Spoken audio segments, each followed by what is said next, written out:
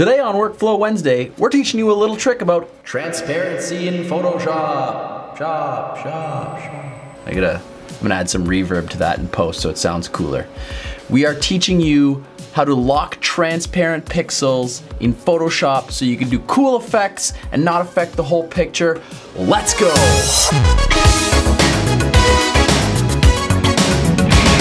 Alrighty, so we've got our mountain picture open in Photoshop.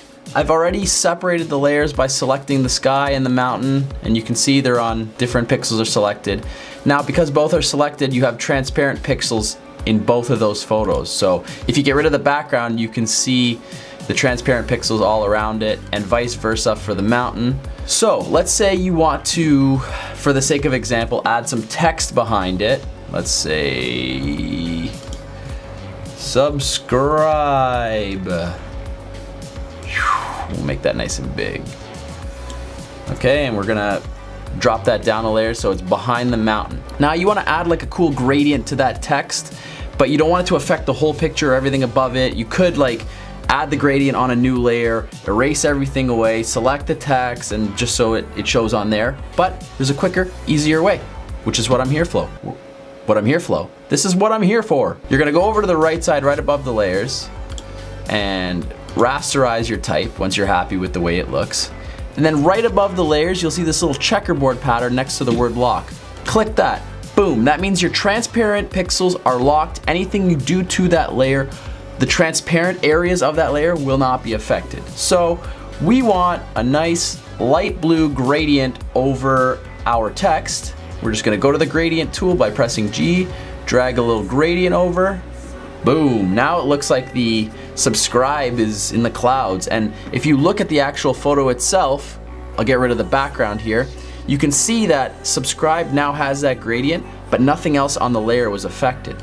So now we're gonna try this, a similar thing with the background. Let's say you want, you know, it looks kind of like it's midday or whatever, but we want that little bit of orange or a little bit of purple in the sky. We're gonna go over to that layer, make sure we select that little checker pattern right there. Now it's locked. Let's, uh, let's make the sky a little bit purple at the top here. Gradient tool and just drag it down. You know, we're, we're creating some sort of Fantasyland purple background thing. It's for the sake of the video, guys. Come on, it doesn't have to be perfect realism all the time. So we've got it. If you hide the other layers, you can see the purple only affected the non-transparent areas. A trick like this just might save you a lot of time in the long run instead of having to go back and erase everything that you don't want covered.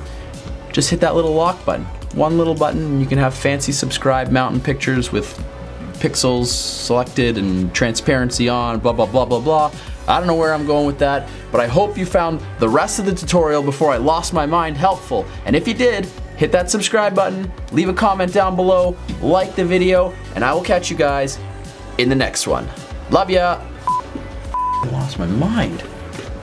I lost my mind in that video. What? I wonder if it makes sense. Does it make sense? I mean, it's a pretty straightforward tutorial. You just have to click the checkerboard. I lost my mind. I'm a crazy person.